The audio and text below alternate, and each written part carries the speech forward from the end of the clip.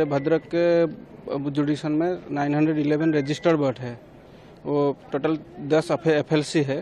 वो तो सब एफएलसी में बोट लग आ गया है लैंडिंग सेंटर में।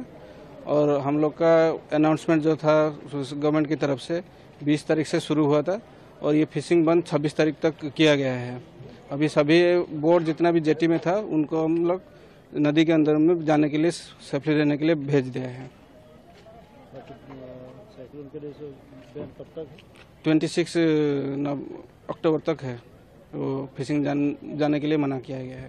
तो जिन मछुआरों उनके लिए क्या क्या अरेंजमेंट किया गया है? वो यहीं या कहाँ जाएँगे? वो यहाँ पे रहेंगे तो उनका अगर पवन मतलब हवा का तेज होगा तो वहाँ पे खुद के बीच में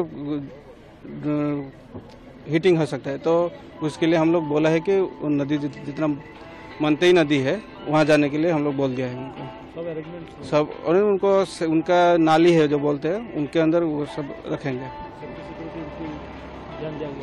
सिक्योरिटी वो उनका रेगुलर रहते रखते हैं उनका बोट